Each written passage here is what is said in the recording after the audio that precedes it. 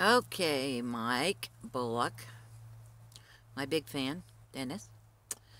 And he says, please tell me what other kinds of places you can be in the game after you die. Well, most, I'm not going to be in this game at all. Um, I, I call this the game, and when I die, I'm leaving this game, for sure. I'll either be in 5D and leave, or I'll die and leave, one of the two, and I'm not coming back. This game's not for me. It's not my kind of thing. Um, it's very, very, very deeply, densely physical. And on the other side, as I say it, on the other side, I am more an energy being. And what kind of, what other kind of games are there? Oh my God, there's like infinite upon infinite upon infinite, more than you can even imagine. But most of them are not this this deal of time space and amnesia that's very unique to this game. I don't know of any other games that do that not to this extent.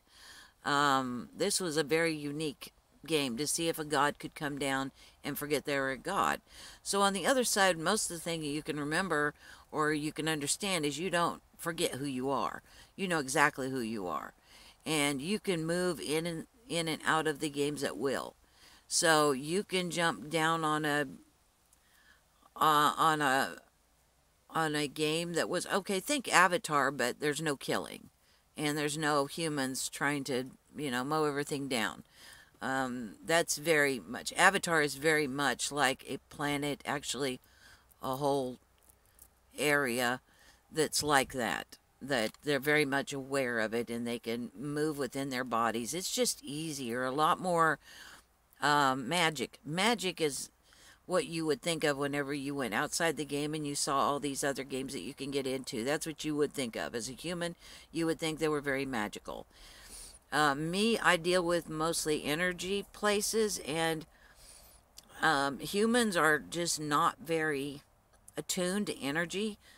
Um, y'all are very confused by it. So it would be extremely difficult for me to explain what I love to do the most. But what I love to do the most is manipulate energy on a big, big scale, a, a huge scale. So um, you would see it as uh, maybe if you saw a picture of a galaxy and didn't look closely at the galaxy, just galaxy from a far, far away, and how it swirls and it, how it's got a lot of color. And if you were to add music to that, maybe that would give you an idea of what I like to do on the other side, sort of. Um, that's about the best I can explain. As far as um, on the other side, more physical things, again, they would be more magical. They, there would be more um, creatures that look very different than you. Uh, bipedal people or characters that rule things are not the norm on the other side in other games. There's all kinds of shapes and figures and sizes and um, different ways of being that would be very different and foreign to you um, out in the other side in all these different places.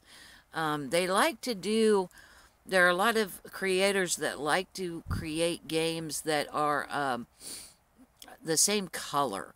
So all in gold. Every every imaginable variation of the color gold. And it's way, way more than what you can even fathom. And yeah, you can do that. And, and blue. And I've met some people that were actually from the gold and the blue places, that that's what they consider home. That's their favorite place to be. So um, it's usually easier for me to find out where you're, where you consider home if you chose one of those, where they're all one color.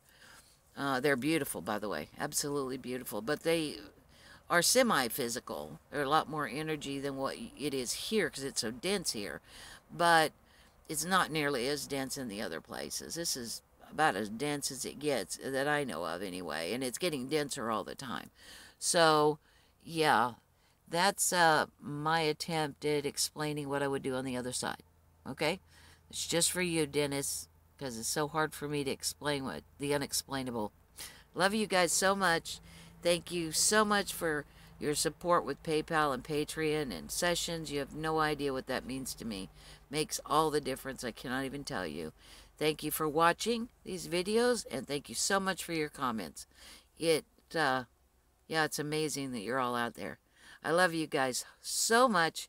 Huge hugs, and I'll see you later. Bye now.